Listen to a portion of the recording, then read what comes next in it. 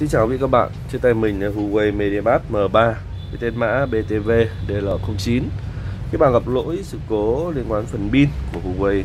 MediaPad M3 BTV DL09 lỗi hỏng. Cần địa chỉ thay mới pin, sửa lỗi hỏng pin trên Huawei MediaPad M3 Quý vị các bạn vui lòng mang máy qua các địa chỉ của di động cao cấp.vn chúng tôi tiến hành thay mới quý các bạn nhanh chóng, an toàn và tiện lợi. Đối với những khách hàng ở xa có điều kiện đến với di động cao cấp.vn